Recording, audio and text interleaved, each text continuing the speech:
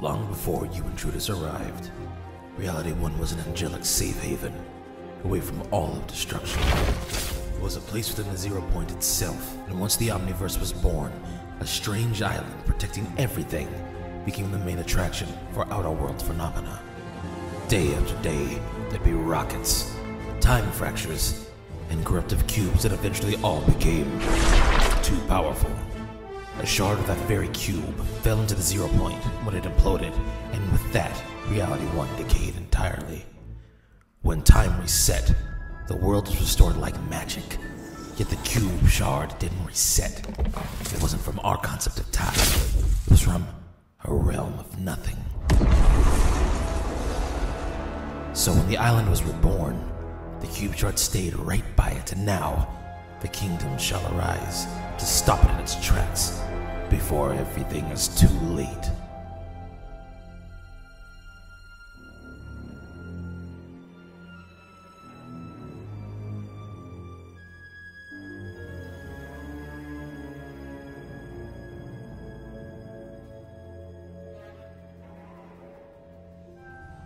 Go investigate those dark anchors I've marked on your map. They've been here on the island for several months now. So, I think it's time we take a closer look.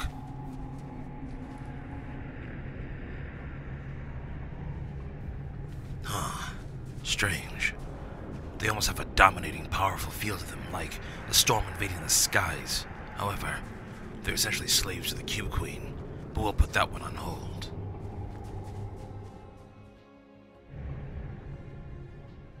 The Ice King wants me to take these anchors back to him so he can freeze him over as part of his dangerous threats collection. I'm not sure why we trap it all away, but it looks so fun to use. But I don't want to lose his respect. Ah, interesting. Could you start working on that excavator for me? The parts are all right by the Inselberg point, so just gather them together, and we can pull the anchors right out of the ground.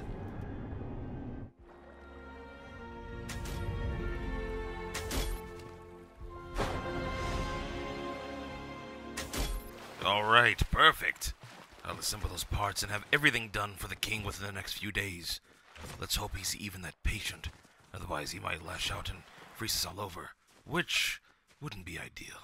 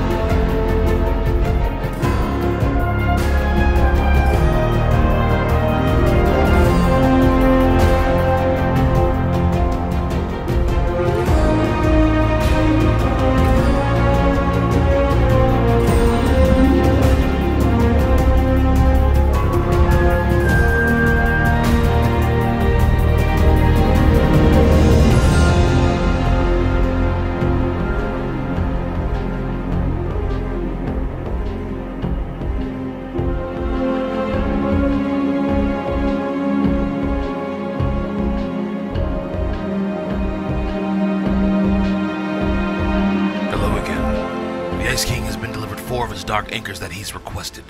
Apparently, his knights weren't able to acquire the other ones as they were swarmed by screaming zombies and weren't given permission to engage. It looked like the creatures were spawned from within the anchors themselves. Some of them must be fiend spawners, and now that we're sure that they're essentially pure evil, I'll give you the right to go on a killing spree. So would you mind getting rid of a few of those zombies? Thanks.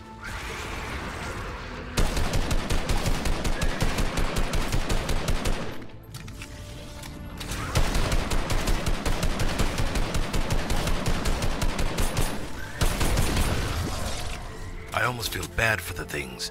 The darkness has taken full control of them, and now they have no say in any direction their life takes.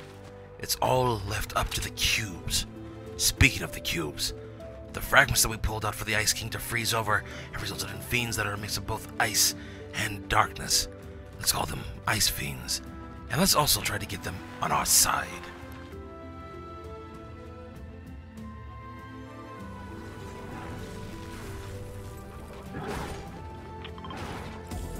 Okay, so that's not what I meant, but good try. The sorcerers are telling me there might be a way to combine the fiends so that they're more of a powerful asset to us. Sounds risky, but I think it'll be fun if we can get this thing on our side.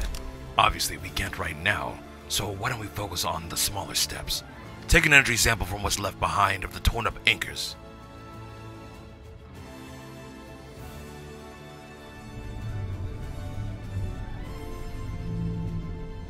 Every time I look into these things, they give me a sense that they're more in power over their monarch than they should be. If this energy is truly as hypnotic as it seems, we should be able to brainwash the Ice Fiends to be on our side, but we need more of it. Okay, excellent. This is officially enough dark substance, as the fiends have now stopped running at us. And they're growling at the anchors. I'm going to assume that means they're against the last reality, which is exactly what we needed. If the sorcerers are correct, we'll combine these beings to become a singular, obedient hive mind, strong enough to take down whatever's on its way. And so, I thank you again. You've been a great help. Goodbye for now.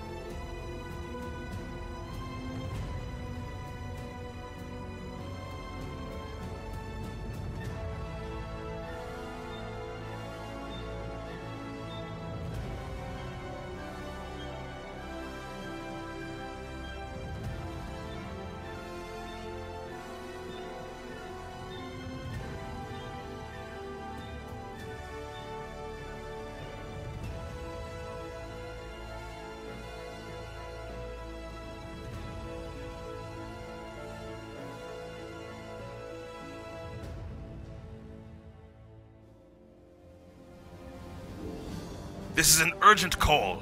The remaining acres have been torn out of the ground, and it looks dangerous, almost like an event of summoning. I need you to find where they've been dropped across the island, as well as what havoc they've caused, immediately.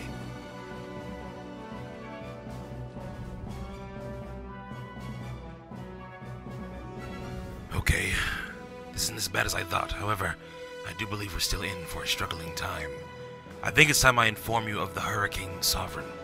He used to be a trusted elemental monarch, but then he disappeared and came here to build a faction of his own, known as the Aegis Heir. He placed a visible cloud barrier over this island, supposedly shielding us. I think it's more blinding. A barrier to keep us from seeing what's to come. Use a thermal weapon to look beyond the clouds for life outside of the island, and then we'll know what we're really dealing with. I don't mean to alarm you, but you might want to put that scope down and look around.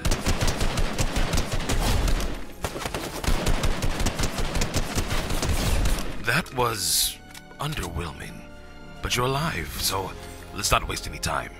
In the brief period that you were looking beyond the clouds, I noticed that same energy signature, giving me the brainwashing corruption sort of feeling. But this one was strong. The only time I've seen anything similar was with the Cube Monarchs and the way that they manipulate. Though I'm pretty convinced that we're not just dealing with them this time, this needs to be further looked into.